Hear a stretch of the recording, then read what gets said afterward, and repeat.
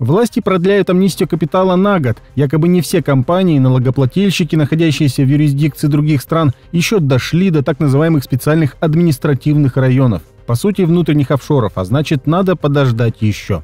Власти с помпой ратуют о возвращении капиталов. Задекларировано уже более 10 миллиардов евро. Но насколько это поможет экономике, своим мнением с накануне ТВ поделился доктор экономических наук профессор МГИМО Валентин Катасонов. Я сейчас на память не помню, сколько длился период, который был дан на возвращение, но он достаточно длинный был, поэтому 10 миллиардов, в общем-то, не сильно впечатляет. 10 миллиардов, э, мне кажется, что все-таки гора родила мышь. Да, на первый взгляд кажутся гигантские деньги, особенно на фоне нынешних разговоров там о пенсионной реформе, о тех копейках, которые там обещают прибавить пенсионерам. Но, с другой стороны, ведь 10 миллиардов. Это примерно столько, сколько утекает из России за один месяц. За один месяц.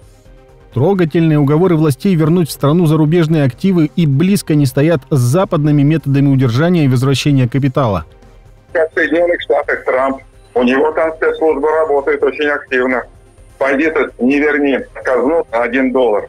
Там будут серьезные последствия. Там же у них э, работает этот самый закон под названием ФАТКА. И там не скроешься от этого закона. Ни в каком офшоре. Мне кажется, что мы должны вспомнить о том, как вообще э, возвращаются деньги. У нас за столько было налоговых амнистий, что на фоне зарубежного опыта мы выглядим как-то очень странно. Это примерно как тысяч первое китайское предупреждение в советское время. Ну сколько можно предупреждать? В принципе, э, ведь есть другие методы возвращения капитала. У нас все-таки э, есть э, Росфинмониторинг, который отслеживает какие-то финансовые потоки. У нас есть э, разные спецслужбы. В конце концов, есть Следственный комитет, который может использовать альтернативные методы возвращения. А, к сожалению, это не делается. На фоне того, что можно было бы сделать, сегодняшняя амнистия выглядит преступным сговором, ведь капитал этот не трудовой, и всем ясно, как он нажит.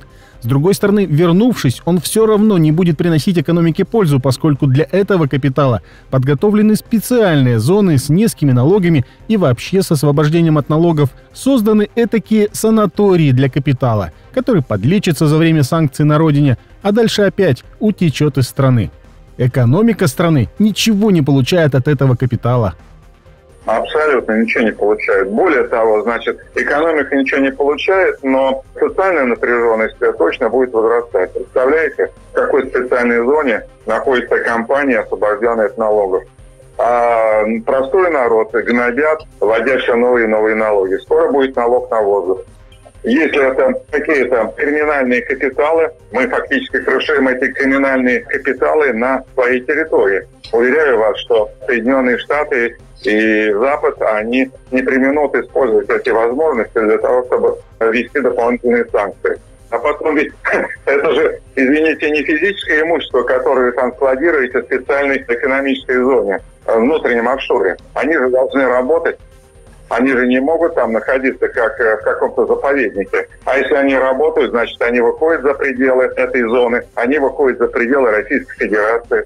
Ну и что? Тут же их поймают, тут же поймают. Что-то такое уже попахивается криминалом. Государство крышует вот этих самых бандитов. В эфире была рубрика «Экспертное мнение» специально для Накануне ТВ. Подписывайтесь на канал Накануне ТВ и смотрите другие видео из рубрики «Экспертное мнение».